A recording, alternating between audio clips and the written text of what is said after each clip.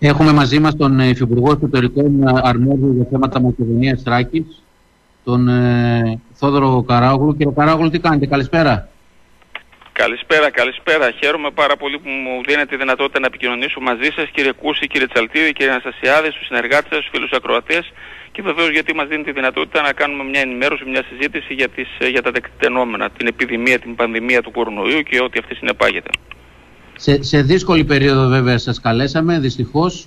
Ε, η χώρα νομίζω δείχνει αντανακλαστικά, έτσι παλεύουμε με την καθημερινότητα. Δεν ξέρω η δική σας καθημερινότητα, Υπουργέ, πρώτα πώς είναι. Σίγουρα δύσκολη, όπως όλων μας. Είμαι από αυτούς που δεν φοβάμαι με την έννοια ότι κανονικά κατεβαίνω από το πρωί από τις 7.30 ώρα με στο Υπουργείο, κάθομαι μέχρι αργά το απόγευμα 5-5.30, μετά πηγαίνω στο σπίτι, τηρώ βέβαια τους κανόνες, δεν έχουμε ραντεβούς, στο Υπουργείο έχουμε φροντίσει, έχουμε περιορίσει και τις ώρες συναλλαγής, αλλά και σε σχέση με το προσωπικό έχουν φύγει τα αμαία, έχουν φύγει οι γυναίκες με μικρά παιδιά, ε, φροντίζουμε ναι. να υπάρχουν απολυμαντικά σε κάθε ο, κοινόχρηστο χώρο, σε κάθε γραφείο, έτσι να τηρούνται όλα τα απαραίτητα μέτρα και γι' αυτό κάνω το σταυρό μου, δόξα τω Θεώ, μέχρι στιγμής δεν είχαμε κανένα κρούσμα. Ε, από εκεί πέρα θεωρώ ότι είναι μια μπόρα, θα περάσει ο ελληνισμός στην ε, ιστορία του των 5.000 χρόνων και πλέον έχει ζήσει και χειρότερες στιγμές. Θεωρώ ότι ένας-δύο μήνες ακόμη είναι δύσκολοι και μετά θα ξεπεράσει το πρόβλημα. Υπομονή, ε, πειθαρχούμε στους ε, γιατρούς, στους ειδικούς γιατί αυτοί έχουν το πρόσταγμα, πειθαρχούμε σε εντολές που μας δίνονται και όλα θα πάνε κατευθείαν. Σίγουρα έτσι είναι. Μπόρα είναι, θα, θα περάσει σίγουρα, έχουν, έχει περάσει και η ανθρωπότητα πολύ χειρότερα. Απλά νομίζω ότι είναι πρωτόγνωρη η κατάσταση για όλους και για το κράτος, το κάθε κράτος, αλλά και για τον κάθε πολίτη στο κάθε κράτος. Ναι, είναι μια εμπειρία που δεν την είχαμε ζήσει, πρέπει να ομολογήσω. Συγγνώμη, δεν μπορώ να καταλάβω τις φωνές σας τώρα, δεν ξέρω ποιος με ποιον uh, μιλάω. Οπότε απευθύνομαι. Ο Χρήστος ναι, Χρυσανθέ. Λοιπόν, είναι μια εμπειρία την οποία δεν την είχαμε ζήσει. Ποιος την είχε ζήσει άλλωστε. Αλλά να σου πω κάτι. Και το να μείνεις στο σπίτι έχει και αυτό και τις χάρε τη. Ε, Βρίσκεις χίλια δύο πράγματα, τελειώσει τα βιβλία που έχεις ξεκινήσει να διαβάζεις, να γράφεις, ε, τακτοποιεί το αρχείο σου, βρίσκεσαι με τη γυναίκα σου. Ξέρετε το, την ιστορία που κυκλοφορεί έτσι, το σχετικό ανέκδοτο. Πολλά είναι βέβαια. Χθες έμεινα στο σπίτι λέμε με την οικογένεια. Καλοί άνθρωποι μου φάνηκαν. Λοιπόν, και ούτω καθεξής. Τι να κάνουμε. Είμαστε αναγκασμένοι να πειθαρχήσουμε. Αν θέλουμε να το ξεπεράσουμε το συντομότερο δυνατόν και δόξα τω Θεώ μέχρι στιγμής πάμε πάρα πολύ καλά. Τώρα παρακολουθώ στην τηλεόραση την ομιλία του Πρωθυπουργού και ακριβώς αυτά τα ζητήματα αναφέρεται. Λοιπόν, ε, θεωρώ ότι αν πάμε συντεταγμένα, πειθαρχημένα, ε, δεν, δεν είναι μαγιά το να βγαίνουμε έξω και να μην ε, ε, να αγνοούμε τους κανόνες που υπάρχουν. Έτσι, αν, αν εφαρμόσουμε αυτά που πρέπει, όλα θα πάνε ε, καλά και θα βγούμε το συντομότερο δυνατόν. Και όταν λέω το συντομότερο, γιατί δεν θέλω να καλλιεργώ αυτά πάτες, θεωρώ ότι αυτό θα είναι το αισιόδοξο σενάριο για μένα, είναι στα μέσα Μαΐου. Ε, θεωρείτε ότι οι επόμενες δύο εβδομάδες είναι οι πιο καθοριστικές αν το συνδυάσουμε και με το γεγονός ότι υπάρχει το Πάσχα που είναι νομίζω ένα σημείο αναφοράς για την Ελλάδα ε, σε σχέση με τις όποιες μετακινήσεις ε, πιθανόν ε, να γίνουν και αυτές που πρέπει να περιοριστούν, που πρέπει να μην γίνουν βασικά ο μακαριότατος, έχουμε διασπορά. ο μακαριότατος, ο κύριος Ιερώνυμος, είπε μια σοφή κουβέντα. Η πίστη μας δεν κινδυνεύει, λέει, οι πιστοί κινδυνεύουν τι θέλει να πει με αυτό; Ότι προφανώς και είμαστε χριστιανοί και είμαστε καλοί χριστιανοί ή χριστιανοί ορθόδοξοι. Έτσι, και με χαρά θα πηγαίναμε στις εκκλησίες, με χαρά θα εκκλησιαζόμασταν, θα συμμετείχαμε ε, στις λειτουργίες της Μεγάλης Εβδομάδος και βεβαίως στην Ανάσταση. Όμως φέτος είναι μια διαφορετική περίπτωση. Γι' αυτό το λόγο θα αρκεστούμε σε αυτά που από ό,τι δείχνουν τα πράγματα μάλλον θα γίνουν, δηλαδή ε, με, κλειστές, ε, με κλειστή τη δυνατότητα επίσκεψης εκκλησίες, αλλά με τη δυνατότητα ενδεχόμενα να λειτουργούν οι ιερείς εντός αυτών χωρίς όμως κόσμο, με τα μεγάφωνα έξω, από τηλεόραση, από ραδιόφωνο, από διαδίκτυο, θα εκκλησιαστούμε με αυτόν τον τρόπο. Είναι μια χρονιά, θα περάσει και αυτή. Και πρώτο ο Θεός 26 Μαΐου ανακοίνωσε ήδη χθες η Ιερά Σύνοδος σε μια έτσι ε, καλή απόφαση την οποία πήρε. Θα γίνει και πάλι η ακολουθία της Αναστάσεως, οπότε θα μπορούμε να συμμετέχουμε όλοι εκεί. Εκ των υστέρων, εντάξει, δεν έχει καμιά σημασία. Η πίστη είναι δεδομένη, αυτό που θα πρέπει να κοιτάξουμε όλοι μας είναι να προφυλάξουμε τους εαυτούς μας, να προφυλάξουμε τους πιστούς, άρα θα πειθαρχήσουμε και δεν θα πάμε ούτε στα χωριά μας. Όλοι μας θέλουμε να πάμε, έτσι. Προφανώς όλοι μας θέλουμε να ψήσουμε τα αρνιά, να δούμε τους φίλους γνωστούς, συγγενείς, αλλά τι να κάνουμε. Είναι μια χρονιά, θα περάσει, είπαμε, υπομονή. Όσο πιο μεγαλύτερη υπομονή και πειθαρχία, υπομονή κάνουμε και πειθαρχία δείξουμε, τόσο πιο γρήγορα θα περάσει το πρόβλημα αυτό ο δικός σας, ε, η δική σας η περιφέρεια, εντάξει, έχει και χωριά έτσι κι αλλιώς. Εγώ, εγώ ζω εδώ σε ένα παπά. Οπότε εμείς δεν χρειάζεται να μπορούμε να ψήσουμε, να ξέρετε. Είμαστε μόνο ε. οικογενειακά εννοώ, αλλά στη δική στην περιφέρεια υπάρχει η δυνατότητα αυτή. είναι, υπάρχουν αρκετά Απλά περιφερειακά πάμε... της Θεσσαλονίκης. Ναι, όταν θα πάμε όμως είμαστε λίγο θα πρέπει να, θα πρέπει να προσέξουμε να μην έρθουμε σε επαφή με τους φίλους και γνωστούς γιατί μπορεί κατά λάθος εμείς οικογενειακά, κάποιος, μόνο η οικογένεια. Ναι, να είναι γνωστός και να πάθουμε έτσι, αντί για καλό να κάνουμε κακό τελικά. Εν πάση περιπτώσει επαναλαμβάνω, δεν χάλασε ο κόσμος αν για μια χρονιά στη ζωή μας δεν κάνουμε Πάσχα. Δεν θα το κάνουμε τώρα, θα το κάνουμε αργότερα. Αλλά μπορούμε να συμμετέχουμε των, των θείων παθών έτσι μέσα επαναλαμβάνω με το διαδίκτυο, μέσα από το διαδίκτυο, μέσα από την τηλεόραση που θα βλέπουμε, μέσα από το ραδιόφωνο που θα βλέπουμε και θα παρακολουθούμε τις θείες λειτουργίες. Ε, Κύριε Καράγλου, είναι, ε, ναι, νομίζω είναι μια ευτυχή συγκυρία που η χώρα μας δεν τραβάει τα πάντινα που τραβάει η Ιταλία, η Ισπανία και η Μεγάλη Βρετανία. Εντάξει, πάρθηκαν μέτρα νωρίς, ενδεχομένως να ήμασταν και λίγο τυχεροί. Ο κόσμος θεωρώ ότι στη συντριπτική πλειοψηφία πειθαρχεί. Απλώς αυτοί που δεν πειθαρχούν κάνουν περισσότερο θόρυβο ενδεχομένως. Ε, Μήπως θα πρέπει όταν περάσει η μπόρα, όπως είπατε κι εσείς, να ρίξετε μεγάλο βάρος στο πολύ ταλαιπωρημένο σύστημα υγείας, γιατί ο Έλληνας αξίζει καλύτερη περίθαλψη. Όλοι έχουμε ιστορίες για το πώς ε, βιώσαμε μια επίσκεψη σε νοσοκομείο. Ε, από ό,τι κατάλαβα ο Στέργιος ο Αναστασιάδης ναι, ναι, ναι, ε, με ρώτησε έτσι. Λοιπόν, ε, Στέργιο να πω το εξής. Την επόμενη μέρα πρέπει να κοιτάξουμε πολλά. Και προφανώς πρέπει να κοιτάξουμε και να βελτιώσουμε και το Εθνικό Σύστημα Υγείας που αποδεικνύεται ότι σε μια δύσκολη περίπτωση και με την πολύτιμη συμπαράσταση και αρρωγή της βοήθειας ε, στέκεται στο ύψος του και αντιμετωπίζει τα περιστατικά δόξα τω Θεώ μέχρι στιγμής, επαναλαμβάνω και το τονίζω δόξα τω Θεώ μέχρι στιγμής, σε, με πολύ ικανοποιητικό επίπεδο. Από εκεί πέρα την επόμενη μέρα πρέπει να κοιτάξουμε πολλά. Θεωρώ ότι αυτό που θα είναι το μείζον, εκτός από το Εθνικό Σύστημα Υγείας που ήδη γίνονται διορθωτικές κινήσεις και ενισχυτικές κινήσεις, είναι το ζήτημα της επανεκκίνησης της οικονομίας το μεγάλο πρόβλημα που θα αντιμετωπίσουμε την επόμενη μέρα όταν με το καλό περάσει αυτή η μπόρα θα είναι τι γίνεται με την οικονομία. Ξέρετε γιατί; Γιατί αν, αν λέω εγώ υποθετικά, τελειώσει με το αισιόδοξο σενάριο στα μέσα του Μαΐου έτσι η έντονη κρίση αυτή. Το ερώτημα είναι τι κάνουμε. Ανοίγουμε τα σύνορα μετά και περιμένουμε τον τουρισμό μας; Μήπως όμως με τον τρόπο αυτό ξαναέχουμε και πάλι την επιστροφή της πανδημίας και πάλι στην Ελλάδα; Ε, για μας όμως ο τουρισμός είναι το 17% του ακαθάριστου χωρίου προϊόντος. Είναι πάρα πολύ σημαντικό.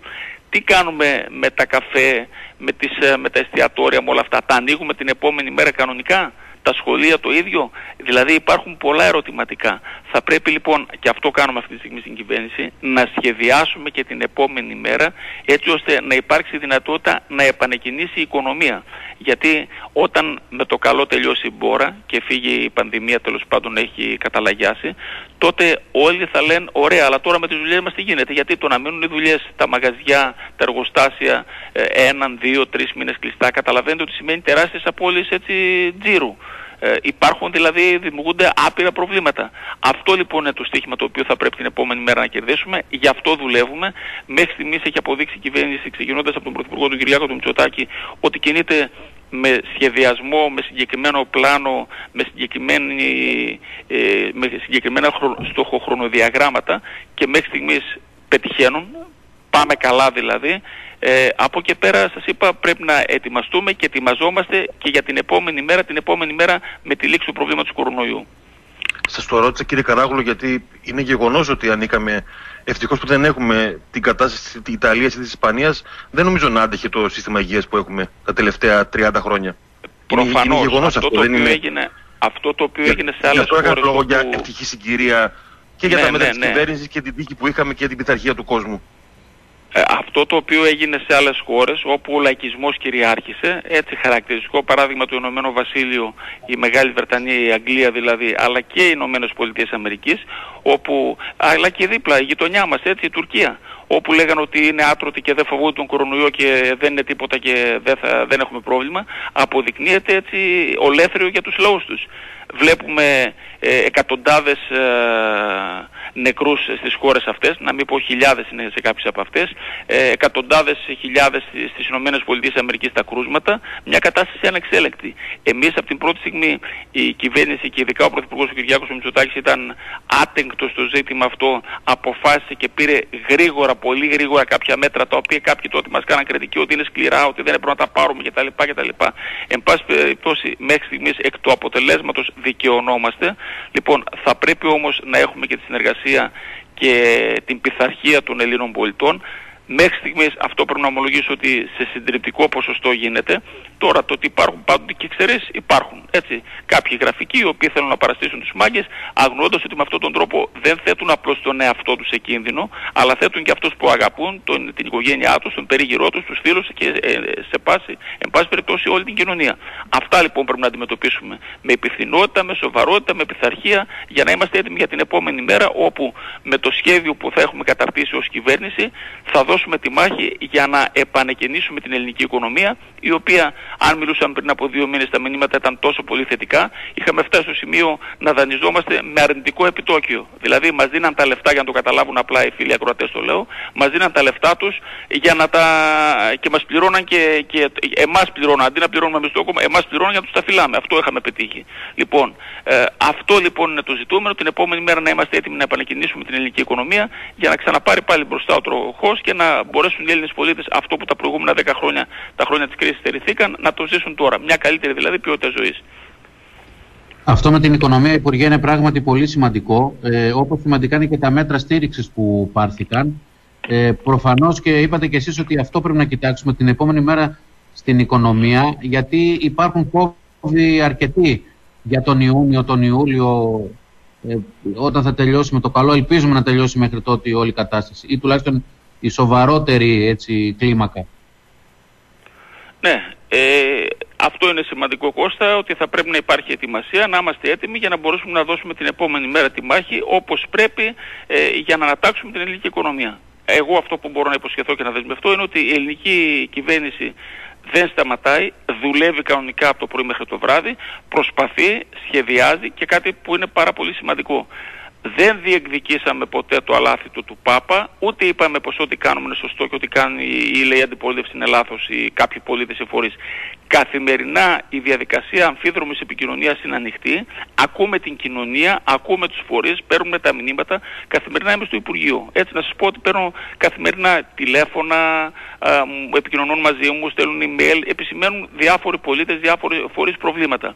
Αυτά τα προωθώ ναι. εκεί που πρέπει να τα προωθήσω. Στην Αθήνα, στο Υπουργείο Εθνικής Οικονομίας, στο Υπουργείο Ανταγωνιστικότητας, στο Υπουργείο Εργασίας και Κοινωνικής Ασφάλειας κτλ.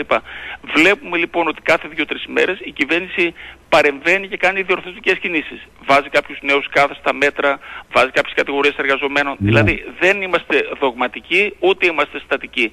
Παρακολουθούμε τον παλμό της κοινωνίας, παρακολουθούμε τα προβλήματα που επισημαίνουν οι φορείς, οι μεμονωμένοι πολίτες και κάνουμε τις κινήσεις που πρέπει να κάνουμε. Για αντάλλαγμα βέβαια ζητάμε να υπάρχει πειθαρχία, να υπάρχει συνεργασία έτσι ώστε όλοι μαζί, αλληλέγγυοι, να μπορέσουμε να βγούμε το συντομότερο δυνατόν από αυτή την κρίση. Ε, σε ένα πιο εξειδικευμένο ζήτημα, ε, Υπουργέ, σας ανησυχεί καθόλου η κατάσταση στην Καστοριά; Διαβάζω τώρα ότι έχουμε δυστυχώς ακόμα ένα νεκρό. Εκεί τα πράγματα φαίνεται από, ε, από ένα ταξίδι, από κάποια μετακίνηση τέλος πάντων. Η πόλη έχει σοβαρό πρόβλημα. Έχετε ενημέρωση για το τι γίνεται εκεί, για το νοσοκομείο κτλ. Κώστα έχω μεγάλη ενημέρωση και μιλάω τακτικότατα με τον uh, Δήμαρχο Καστοριάς και με τον uh, Περιφερειάρχη Δυτικής Μακεδονίας, τον φίλο μου και πρώην συνάδελφό μου στη Βουλή, τον Γιώργο τον Κασαπίδη. Μάλιστα ναι. την Δευτέρα που μας πέρασε προχθές 30 του μηνός κάναμε μια τηλεδιάσκεψη με τη συμμετοχή των δημάρχων, των τριών δημάρχων της uh, Περιφερειακής Ενότητας Καστοριάς, του Αντιπεριφερειάρχη, του Περιφερειάρχη, των Προέδρων του Ιατρικού Συλλόγου, του Φαρμακευτικού Συλλόγου, του Νοσοκομείου, του Διοικητή του Νοσοκομείου κτλ. Και κουβεντιάσαμε όλα τα προβλήματα. Προσέξτε, στην Ελλάδα συνολικά οι περιοχές που είναι πιο επιβαρημένες και έχουν μεγάλο πρόβλημα είναι τρεις.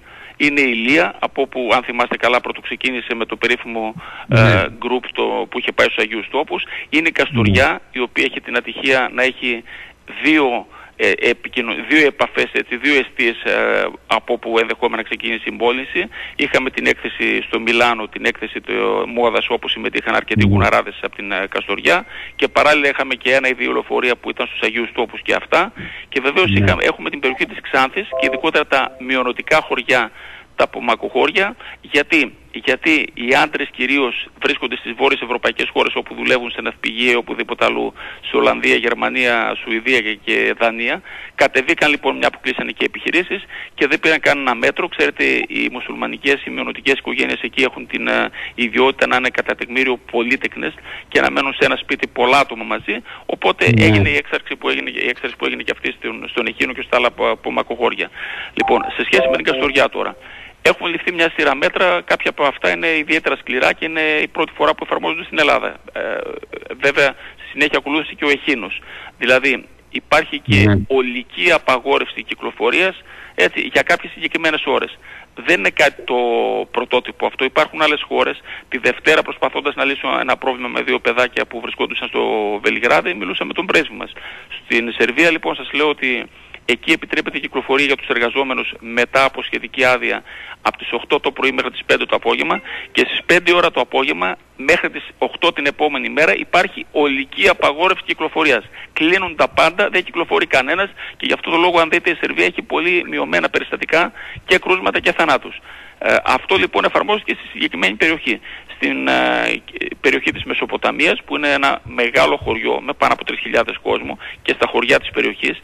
Καταλαβαίνετε ότι είναι πάρα πολύ δύσκολο, ότι είναι κάτι πρωτόγνωρο, είναι κάτι διαφορετικό από τις συνήθειες αλλά τι να κάνουμε πρέπει να γίνει. Με αυτόν τον τρόπο θα αντιμετωπίσουμε το πρόβλημα. Έγινε στον Εχείρο, στην Ξάνθη, 3.000-3.500 κόσμος.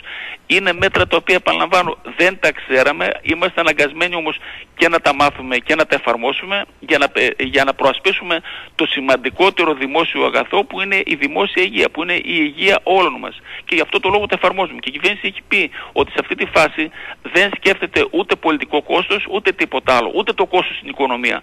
Τώρα ο Πρωθυπουργός από την πρώτη στιγμή ήταν ξεκάθαρος και ε, απόλυτος σε αυτό το ζήτημα. Προέχει η δημόσια υγεία η ανθρώπινη ζωή που χάνεται δεν αναπληρώνεται. Τις απώλειες που θα έχουμε από την οικονομία και θα έχουμε πολλές απώλειες δυστυχώς θα δούμε την επόμενη μέρα πώς θα αγωνιστούμε και πώς θα πετύχουμε να τις, να τις ε, επανακτήσουμε, να τις, ε, να τις ε, ξαναπάρουμε πίσω. Αλλά η ανθρώπινη ζωή δεν επανακτάται. Γι' αυτό το λόγο λοιπόν πάνω απ' όλα η δημόσια υγεία θα κάνουμε ό,τι πρέπει έτσι ώστε να προασπίσουμε τη δημόσια υγεία και για όλα τα υπόλοιπα όταν με το καλό τελειώσει η μπόρα αυτή εδώ είμαστε.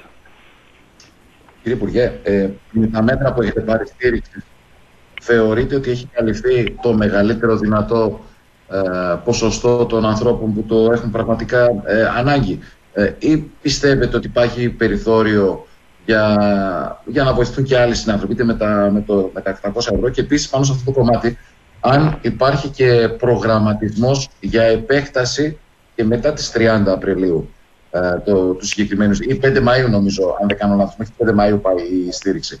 Ε, Χρήσαν, μαζί μιλάμε. Ναι, ναι, ναι. Ναι, λοιπόν, να πω κάτι. Ε, καταρχήν τα μέτρα τα οποία ανακοινώθηκαν είναι ένα πακέτο υπερβολικά μεγάλο. Έτσι είναι 12 περίπου δισεκατομμύρια. Ε, και έχουμε πει και κάτι. Δεν τελειώσαμε εδώ. Όπου χρειαστεί να πάμε θα πάμε, όσο χρειαστεί να ανέβουμε θα ανέβουμε και τα μέτρα αυτά καλύπτουν μέχρι και τις 30 Απριλίου και βεβαίως αν χρειαστεί να δώσουμε άλλα 800 ευρώ και για τον επόμενο μήνα το Μάιο και αυτό θα το κάνουμε και αν χρειαστεί να ενισχύσουμε και άλλο τις επιχειρήσεις και αυτό θα το κάνουμε. Η, η προσπάθεια την οποία κάνουμε είναι να στηρίξουμε και τις επιχειρήσεις που είναι απαραίτητες για να υπάρχουν και εργαζόμενοι και φυσικά και τους εργαζόμενους. Έτσι. Αυτό λοιπόν και κάνουμε. Ανακοινώσαμε ένα, ένα πακέτο πάρα πολύ μεγάλο. Ε, στη συνέχεια έγιναν διορθωτικές κινήσεις. Ξανά έγινε τέσσερις φορές ανακοινωθήκαν μέτρα και θα ανακοινωθούν και πέμπτη. Το 81% των εργαζομένων στον ιδιωτικό τομέα έχουν καλυφθεί ήδη από τα μέτρα αυτά. Το 81%. Έτσι, το 81% και το 76% των επιχειρήσεων. Προσέξτε, δεν έχουν όλοι οι εργαζόμενοι προβλήματα οικονομικά, ούτε όλες οι επιχειρήσεις προβλήματα οικονομικά. Υπάρχουν κλάδοι οι οποίοι τώρα την περίοδο αυτή της κρίσης πάνε πολύ καλύτερα από ό,τι πριν. Βλέπε για παράδειγμα, ναι. επικαλούμε το παράδειγμα του σούπερ μάρκετ. Έτσι, οι εργαζόμενοι στα σούπερ μάρκετ δεν έχουν κανένα πρόβλημα, με την έννοια έχουν πρόβλημα με το ότι δουλεύουν πολλές ώρες, ότι ε, ε, υπάρχει ο κίνδυνος ανά πάση στιγμή παρά το ότι λαμβάνουν τα μέτρα που πρέπει για την μετάδοση της νόσου, αλλά δεν έχουν οικονομικό πρόβλημα. Αμείβονται κανονικά και δεν έχουν κανένα πρόβλημα. Ε, όπως επίσης έτσι, οι επιχειρήσεις αυτές που έχουν σχέση με τους κλάδους διατροφής. Αλλά παρόλα αυτά σας είπα, για όλους τους υπόλοιπους που καταλαβαίνουν ότι υπάρχει πρόβλημα, γιατί έχουν κλείσει τα εργοστάσια, γιατί έχουν κλείσει τα μαγαζιά τους, γιατί έχουν σταματήσει από τις δουλειές τους, υπάρχει αυτό το πλέγμα, το κοινωνικό δίχτυ, το οποίο καλύπτει και τους εργαζόμενους και τις επιχειρήσεις. Γιατί επαναλαμβάνω είναι σημαντικό να βγουν και οι επιχειρήσεις ε, όρθιες και ψηλά από αυτή την κρίση για να υπάρχει και την άλλη μέρα και δουλειά και απασχόληση, για να υπάρχουν και εργαζόμενοι. Έτσι. Ε, κάντε μας και ένα σχόλιο. Ε, έγινε πολύ μεγάλη κουβέντα για την παραλία της ε, Θεσσαλονίκης.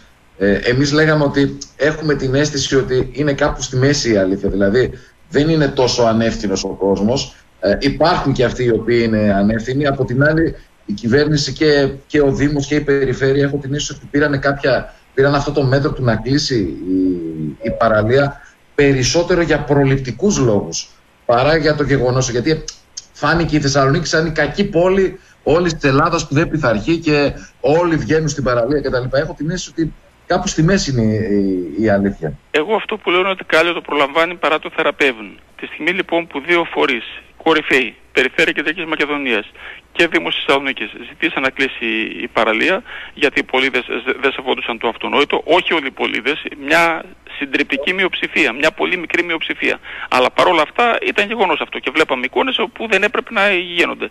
Λοιπόν, η κυβέρνηση έπρεπε να, να ακολουθήσει τις, ε, τα αιτήματα, να αποκριθεί στα αιτήματα των δύο συγκεκριμένων φορέων και έκλεισε την παραλία. Από εκεί πέρα να σας πω κάτι. Ε, νομίζω ότι όλοι μας πρέπει να κάνουμε υπομονή. Προφανώς με καλό τον καιρό, έτσι, τώρα δεν είναι σήμερα καλός ο καιρός, το πρωί όταν έφυγα από το Ρετζίκι χιόνιζε, λοιπόν ε, τώρα βέβαια έχει μαλακώσει λίγο, αλλά εν πάση περιπτώσει θέλω να πω ότι με καλό καιρό, προφανώς και εγώ θα ήθελα να κάνω μια βόλτα στην παραλία, αλλά όταν λέμε ότι δεν πρέπει να το κάνουμε τώρα γιατί πρέπει να παίρνουμε τα μέτρα προστασίας, πρέπει να έχουμε την απόσταση ο ένας από τον άλλο και όλα τα σχετικά, εντάξει τι να κάνουμε. Και να σου πω και κάτι, εγώ προτιμώ να θυσιάσουμε για τις μέρες της κρίσης λίγο, λίγο από την ατομική μας ελευθερία και να προασπίσουμε τη δημόσια υγεία παρά το αντίστροφο. Πάνω απ' όλα είναι η δημόσια υγεία και αυτήν πρέπει να προστατεύσουμε. Αν λοιπόν βρίσκονται κάποια συνείδητοι, εντάξει, τι να κάνουμε, αδικούνται και κάποιοι άνθρωποι οι οποίοι ήταν συνεπείς και πέραν όλα τα στοιχειώδη μέτρα κτλ. κτλ.